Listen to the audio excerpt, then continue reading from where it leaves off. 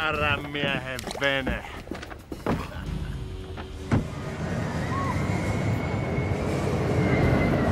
Äiti opetti, että lyhin tien kahden pisteen välillä on suora viiva.